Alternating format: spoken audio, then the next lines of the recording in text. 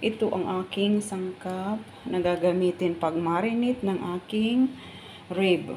Ayan. Mamarinate ko po siya. Ito po ay ah, baking soda. Ayan.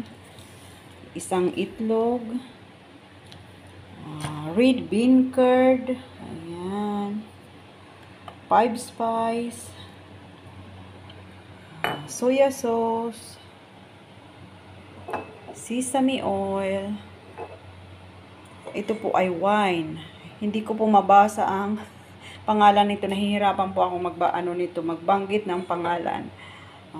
Wester wine. Ayan. Worcester wine. Sugar. uh, plain flour.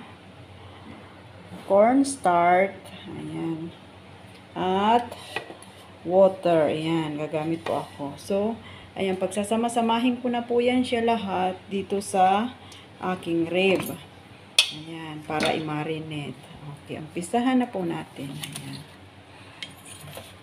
Para kung nagsasawa na kayo sa laging adobo, ayan, pwede nyo ah, magawa ganitong ano, ganitong recipe.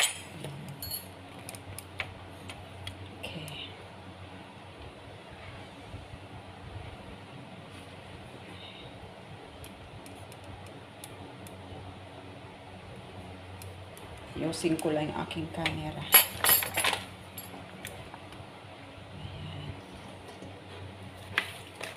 So, lagay ko muna ang ah, baking soda. Ayan. Five spice. So, yung aking charita. Kalahati lang siya.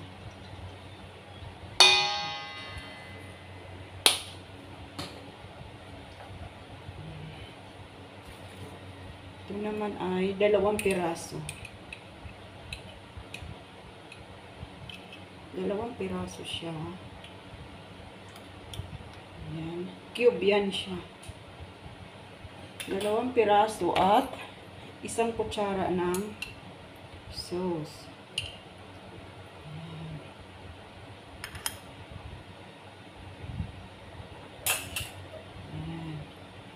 Lagyan natin ng soya sauce.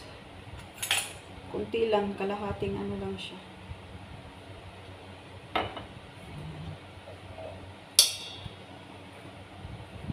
Um, sesame oil.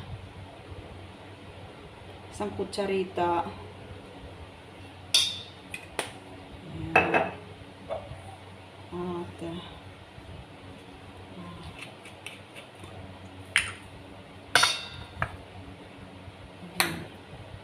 isang kutsara ng wine.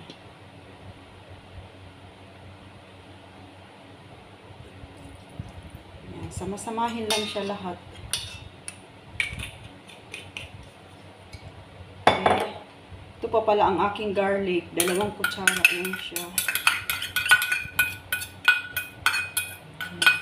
Pwede rin naman maglagay ng ah, ano, oyster sauce pero hindi kami gumagamit niya. Ayan, pandagdag lasa. Ayan. Corn flour. Ah. cornstarch. Anim na kutsara. One, two, three, four, five, anim na. Anim na kutsara. At ang ating wala po akong coriander ah, ano tawag nito? Ah, coriander leaves. Wala po ako niyan. Ah, asukal.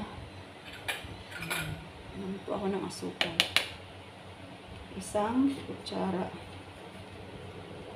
Isang kutsarang asukal po yan siya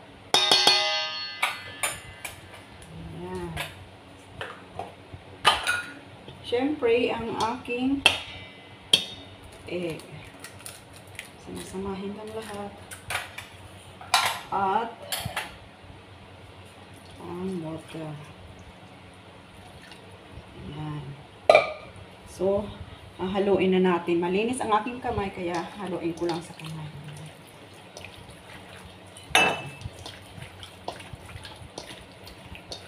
Ang bango niya. Mabango siya kasi yung sesame oil.